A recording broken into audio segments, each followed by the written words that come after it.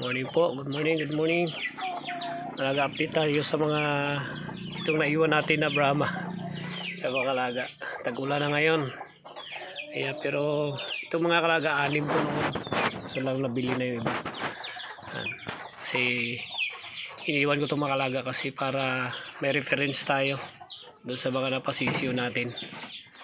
Ayan, may papakita tayo doon sa mga buwibili at ah, may mga lumalabas kasi ngayon na mga newly nag-aalaga ng Brahma mga alaga. Ay pinapapunta ko dito para i-compare kasi kahit hindi tayo ang nagbinta sa kanila pero dahil nag-chat-chat sila sa akin ah kinukumpara ko yung mga binibili nila sa iba.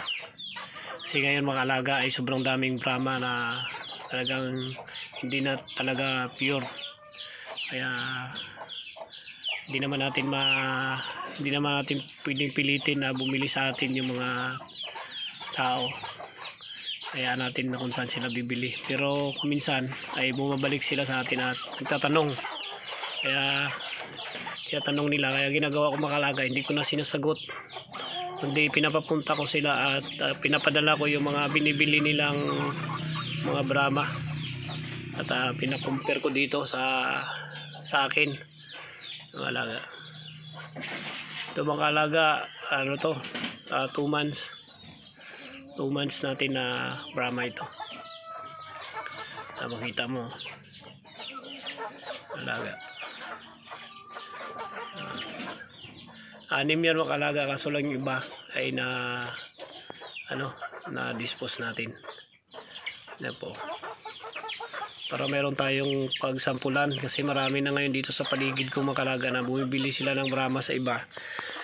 Tapos nagdududa sila.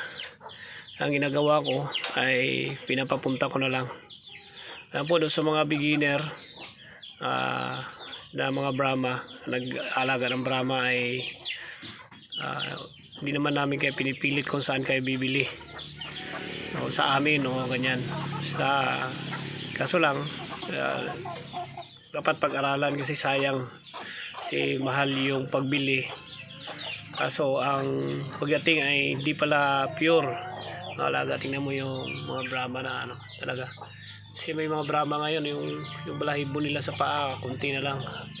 Pero dahil Brahma ah, binibili na kagad lalo na doon sa mga beginner. Kaya dapat mag-ingat. O pag-aralan mo mabuti paano tayo bumili ng alaga. Yan po mga kalaga uh, yan lang po yung tips natin for today. I hope na maunawaan po ninyo. At uh, dapat ay ikumpara natin sa iba. Bago tayo bibili maghanap-hanap tayo tanong-tanong tayo tapos ikumpara natin.